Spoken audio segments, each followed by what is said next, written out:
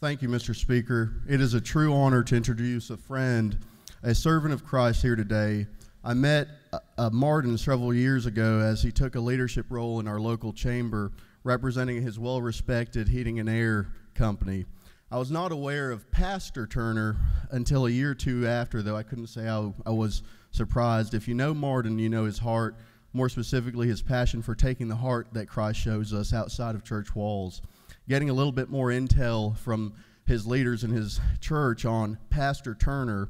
Um, I was told multiple times to, Martin just likes being out there, and that's exactly what he does. From leading multiple new outreach campaigns at Southeast Community Church to spreading his light on Lighthouse uh, Christian Radio, whose founders, Paul and Vicki Hafer, are here today.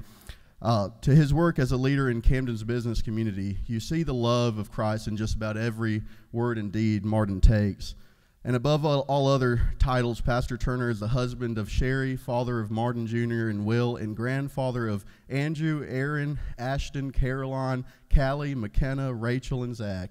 And it's a true honor to introduce and please welcome Pastor Turner.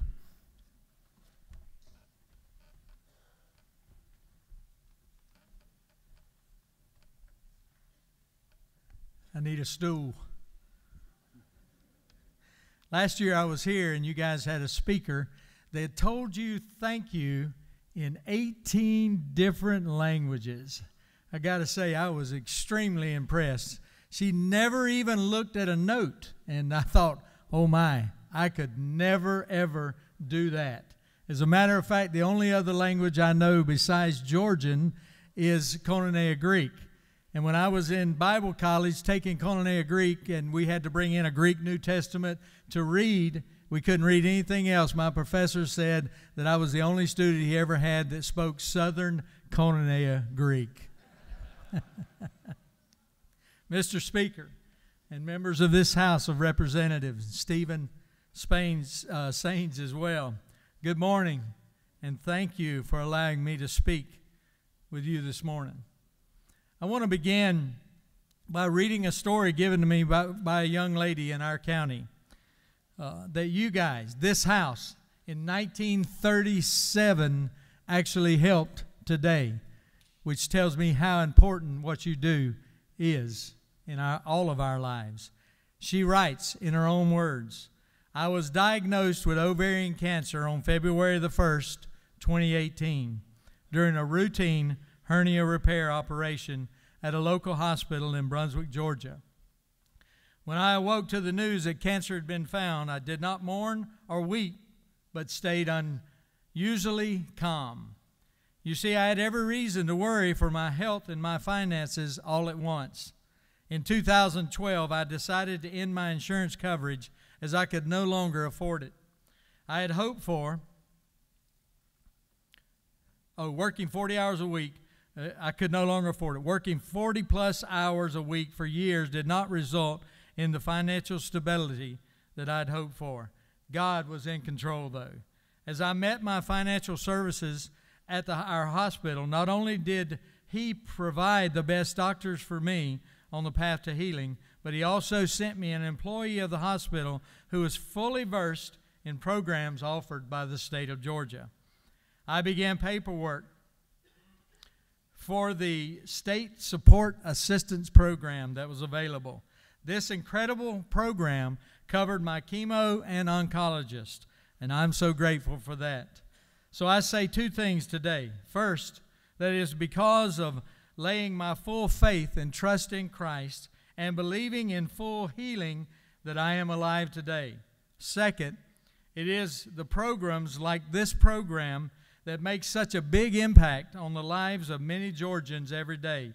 So please continue every each moment in the position that you're in now with the knowledge and wisdom that you are a part of making an impact on the lives of friends, neighbors, and beyond.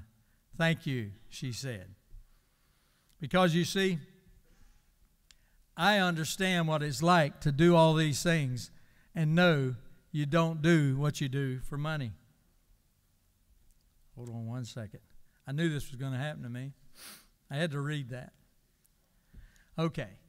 Start over. I thought you guys may want to hear some positive news.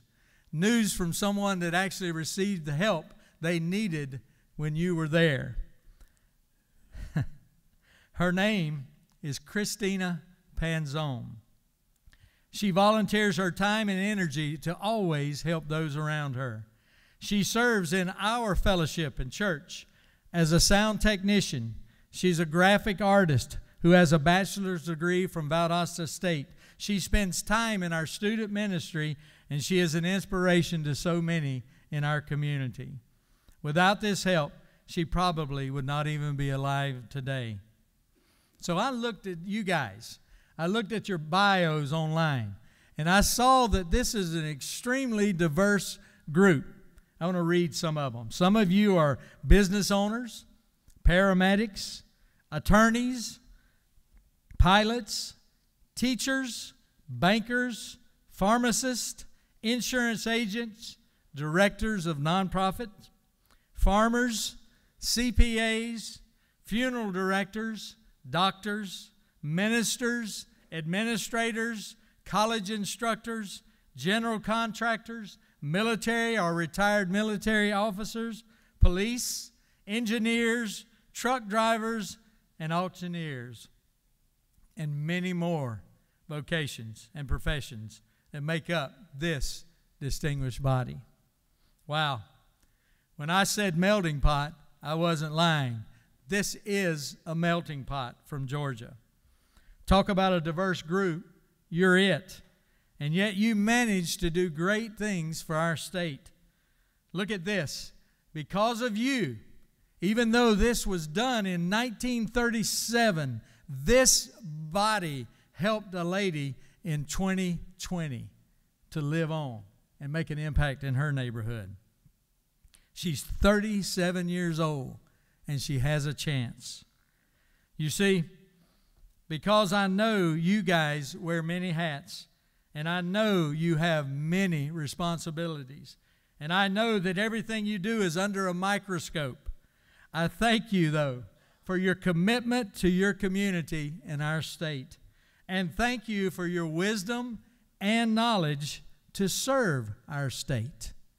Because you see, I don't understand, I do understand what it's like to do these things, and I know you don't do it for the money. There isn't enough money to do this. So, as a small business owner for the past 20 years, I thank you for your service. As an air minister at the Lighthouse, WECC, for the past eight years, I thank you for your service. As the executive pastor of Southeast Community Church in Kingsland, Georgia, I thank you for your service. So, my prayer is that God would grant you today His wisdom and knowledge to govern our state, and that all of us would maintain an attitude of servant leadership. Please continue to serve. In the Old Testament, Solomon asked God to grant him wisdom and knowledge, that he would be able to govern effectively. God's response was this, reading from Second Chronicles chapter 1 verses 11 and 12. Since this is your heart's desire, and you have not asked for wealth, possession of honor, nor the death of your enemies. I remember they asked Billy Graham's wife one time if she really believed that the Bible was a real word of God. To which she replied, Of course. And they said, Well, what do you think about divorce? And she said, Divorce, no. Murder, maybe. Since this is what he says, is your heart's desire, and you have not asked for wealth, possession of honor, nor the death of your enemies, and since you have not asked for a long life, but for wisdom and knowledge to govern my people over whom I've made you king. Therefore, wisdom and knowledge I will give you. Please stand with me. Let's pray. Father, I love you with my whole heart. But God, help me to continue to do just that. And Lord, I pray for this body. I pray for this house. God, give them knowledge to begin with, and then give them the wisdom to know how to handle that knowledge. so that they can serve the state of Georgia, that they can serve this 10.6 million people that they serve every day when they make decisions in this house. I thank you for them, God. I thank you that they have that servant's heart and that they deliver in Jesus' name. Amen.